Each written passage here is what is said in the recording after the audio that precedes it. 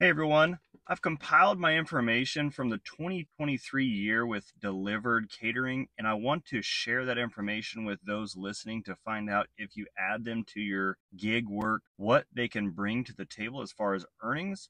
I have a list of 51 orders that I completed in 2023, and I'm going to go through each one of the numbers and I'm going to show the numbers from my earnings on the Dlivrd app that way you guys can actually see the true numbers that are displayed and we can go through the final numbers at the end of the video to talk about how much I earned after doing 51 orders throughout 2023 and what the average per order was.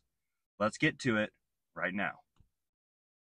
Here is the list of the 51 orders that I completed throughout 2023 to give you guys a really good picture of what it will look like if you're a Dlivrd driver.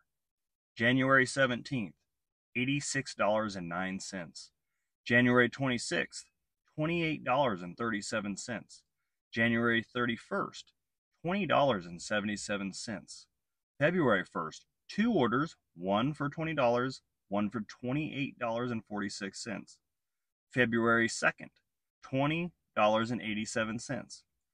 February 22nd, $33.50.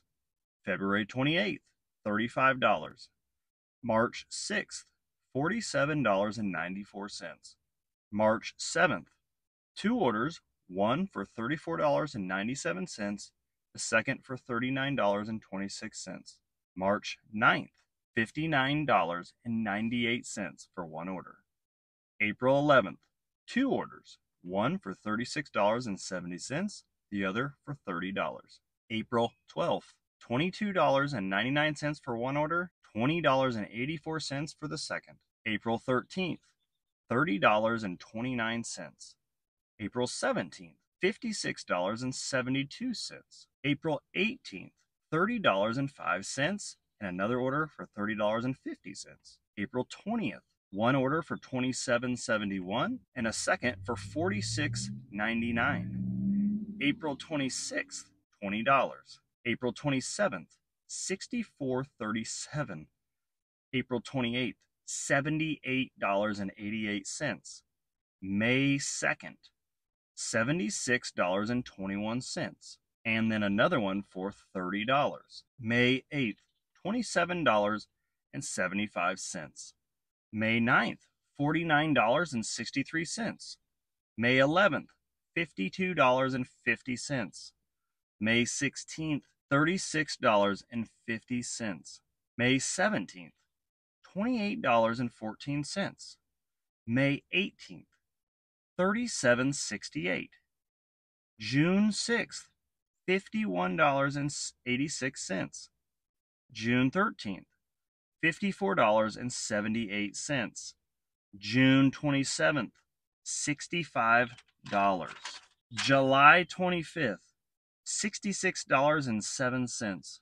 July 26th, $38.04.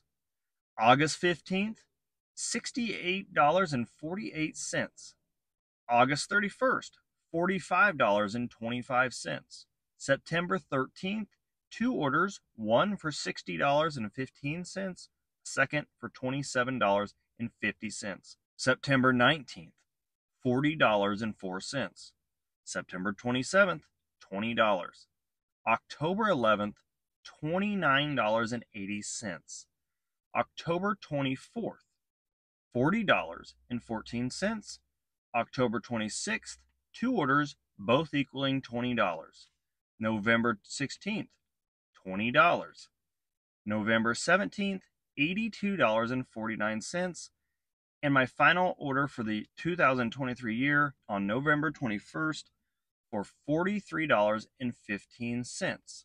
Now let's look at the total numbers and what I actually made on Dlivrd, as well as how many orders I completed, and then talk about the average per order. So as we calculated the gross earnings, it's $2,082.41 on 51 orders throughout 2023, which averaged $40.83 per order. These orders only take anywhere from 10 to 30 minutes to complete from when you show up to the restaurant, you load your car, you take it to the customer, and you set it up for the customer. Some of the customers want you to set it up completely, which takes usually about 10 to 20 minutes from getting the things out of your car and getting them onto the tables in a nice, orderly fashion.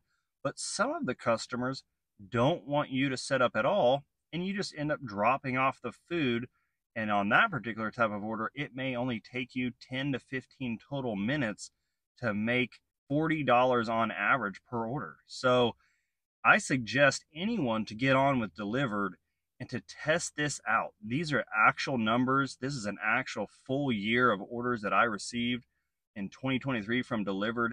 And they had just started their program in Wichita, Kansas, where I delivered with them. And it was a huge boost to my earnings $2,082 extra. Wow, what an increase of income and what a big benefit to anybody who wants to be out here doing gig work. I highly suggest going on dlivrd.com, getting signed up, going through their onboarding program, and moving forward with them as a part of your gig service. I hope this video is helpful. I hope you guys do get out there and you really do try to get better at what you're doing. Have a good day.